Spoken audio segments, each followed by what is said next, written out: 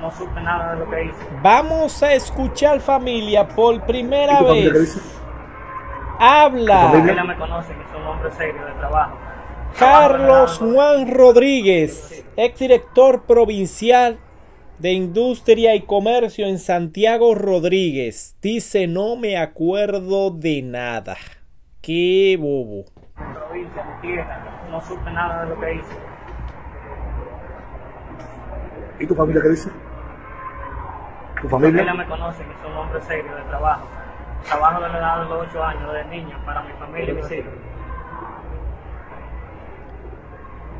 y que le quitó la vida a una pareja de esposos y luego. Conocimiento. ¿Qué conocimiento? ¿Me siento arrepentido por que Claro, le pido perdón a Dios y a la familia, son mis amistades todos, son mis amigos, no supe nada de lo que hice. ¿Está conforme con esa Un año de un año pues. Antes de analizar esto, eh, ruédenme el video por favor. Vamos a ver aquí en Metaverso, en Facebook, eh, algunos de los de los testimonios, ¿no? De lo que dicen algunos familiares ha llegado a la familia de la pareja de esposo allá en Sabaneta, ¿no? Anabel Vargas Villalona y Juan de los Santos, de 36 años, dos jóvenes, ¿no? Y ella como 27 años. No quede impune y las autoridades que hagan lo que tengan que hacer. ¿Cómo es tu nombre? Luis Medrano. ¿Qué tú eras de ellos? Primo de Ken, del, del joven dos jóvenes que sencillamente compartían de su buena relación y lamentablemente estuvieron en un lugar en donde ocurrió este siniestro. Nosotros condenamos los hechos y esperemos que la justicia haga su trabajo. Lamentablemente hay muchas familias envueltas en esta situación y lo que nos queda es eh, esperar en Dios que puedan superar. ¿Usted cree que se dice supuestamente que el arma que dan todos jóvenes es ilegal? Oh, hemos analizado y tiene por lo menos un 90% de que es ilegal. Porque ellos saben que él tuvo otro arrastre en otra ocasión y hasta donde hemos sabido le incautaron el arma y ahora sale con otra arma. O sea que las autoridades tienen que tomar eh, carta en eso. ¿Cuántos baluartes licenciados tiene nuestro pueblo? Y que ahora mismo nada más lo miran porque, porque si no es de partido no lo pueden poner. Señores, dejémonos de eso. Busquemos personas capacitadas que le deben... Así se vivió parte ¿no? de, de, toda la comunidad, líderes comunitarios allá en Sabaneta, Santiago Rodríguez, que se dieron cita a solidarizarse con la familia de estos dos jóvenes valiosos. Antes de entrar en contexto con este tema y con lo que dijo, bueno, vamos a analizar, eh, miren, estamos viendo esas imágenes ahí, recientemente hicimos un video, pero vamos a hacer el aclarando. Hicimos un video donde las autoridades de San Francisco de Macorís sometían a este joven Natanael, me parece que se llama, de la Piña de Jaya, allá cerca de mi campo en San Francisco de Macorís. Resulta que, que fue todo una injusticia, o sea, que, fue, que el joven fue descargado, simplemente era para investigación, se quiso vender la idea como que él tenía que ver con el caso de Yanelis Arias, pero no. Ese joven, según los datos que tenemos y que nos llegó desde el principio, es un joven muy trabajador, una persona que, o sea, que nunca ha tenido problema con la justicia. Fue solicitado, inmediatamente él fue y no era cierto de que hacía un año que lo andaban buscando y todo. Sé de que el Ministerio Público con su lío. Pero queremos disculparnos con la familia, ¿no? Y y desearle mucha suerte. Este muchacho es un muchacho muy serio y no tiene nada que ver con el caso de Yanelis Arias. Y se vendió la idea de que se había entregado, que era la persona que conducía el motor, de, todo eso era, era falso. Miren, regresamos a este caso de Carlos Juan Rodríguez. Este señor dice, él era el director provincial de Industria y Comercio en Santiago, Rodríguez, ya había tenido mucho problema con la justicia por porte de arma ilegal, supuestamente. Eh, también eh, embriagado, causaba mucho problema porque parece que tenía este problema de la bebida.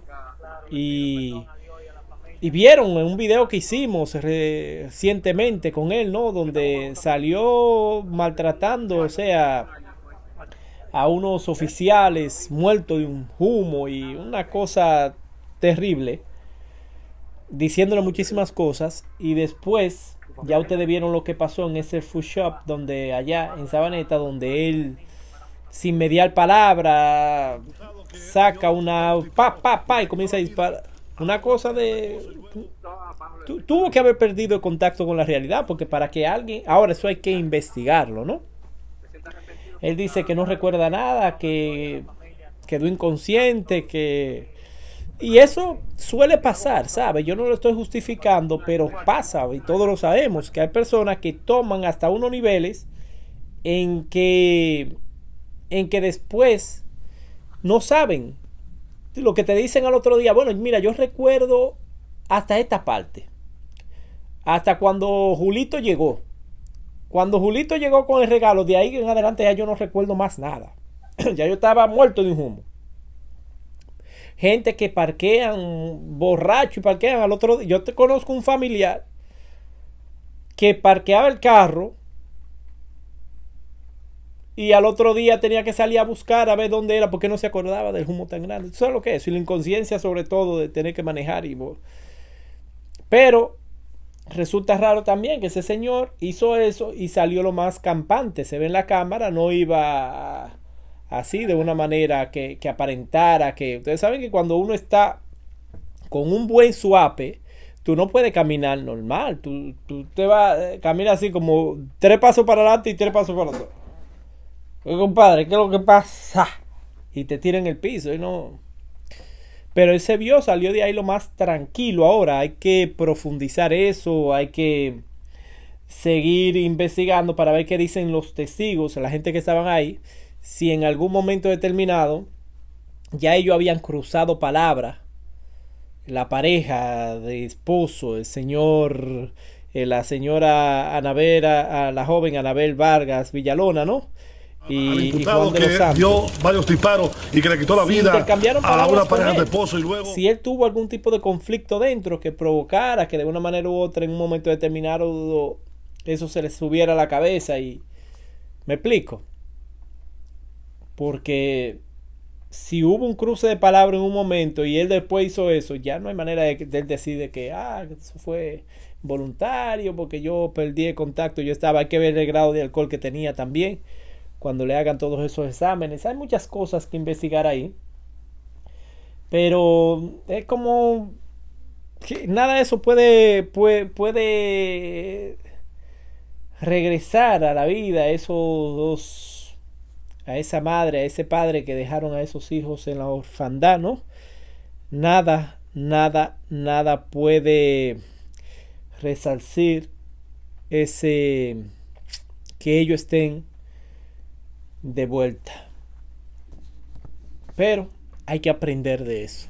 Hay que aprender porque la gente, hay muchas personas que saben que tienen ese problema y eso es muy peligroso. Cuando tú tomas unos niveles y no puedes controlarlo, de que pierde el conocimiento, de que pierde el contacto con la realidad, que no te acuerdas. Yo recordé hasta tal momento. Eso es muy delicado porque tú puedes hacer muchas cosas y hay gente que comete muchos errores en ese estado mental. Si usted tiene ese problema, recomendable no tome. Un día se va a tirar por un puente por ahí y no me acordé al otro día. Hice tal cosa y ofenden. y ya la gente muchas veces lo entiende y dice, no, está acostumbrado a eso.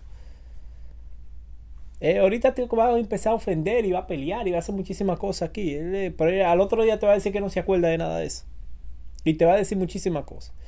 Y hay mucha gente que hace eso que suele tener ese problema, pero miren eso, chacho joven también, ya venía arrastrando ese problema desde mucho antes porque ya habíamos visto video por ahí. Ahora se dice que también el arma que tenía era ilegal. Tenía una ilegal y se la habían quitado. Consiguió otra y miren lo que pasó. Es una bomba de tiempo. Una persona con ese problema y armado. Imagínense ustedes, pero director provincial de Industria y Comercio. Ay, papá. Señores, muchísimas gracias siempre por estar aquí en nuestro programa segmentado de Metaverso de Facebook. Eh, gracias por el apoyo a todas las redes sociales nuestras. Eh, gracias al canal de la competencia ahí en YouTube. Ahí estamos. Eh, suscríbase y obviamente aquí en nuestra plataforma digital. Bendiciones y feliz resto del día. Ya hoy es jueves.